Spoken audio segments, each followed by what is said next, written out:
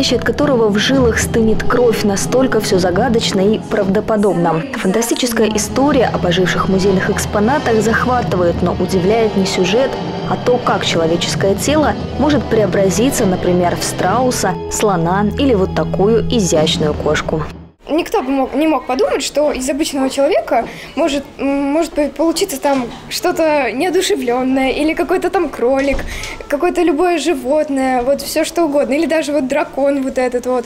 И очень многие удивляются, как у нас это вообще получается. Все зависит от э, именно коллектива, потому что если, допустим, а, на репетиции кого-то нет, то все, без этого картинка уже не такая, как она должна быть. С помощью пластики, надежного плеча товарища и правильно выстроенного света артистам удается поведать зрителю любой сюжет. Живая история, сердце матери, страна чудес, река времени.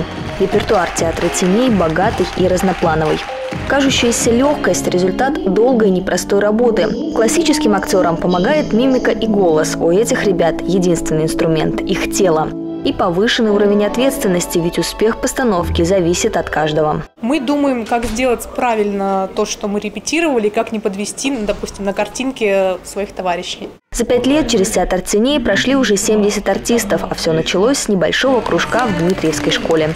Руководитель проекта, танцовщица и хореограф со стажем Дарья Девкина решила попробовать создать в регионе необычный вид искусства. Училась сама по роликам в интернете. Методом проб и ошибок оттачивала мастерство. Начиналось очень сложно.